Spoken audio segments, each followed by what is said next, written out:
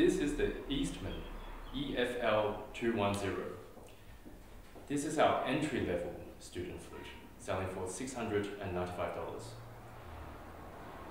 I just cannot believe how good our student flutes are. I wish I had one of these when I was growing up.